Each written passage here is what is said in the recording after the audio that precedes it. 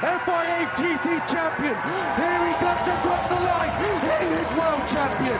What a result. Igor Fraga wins the 2018 World Finals champion. Oh, well, I'm not for words. Igor Fraga, your winner. Look what that means.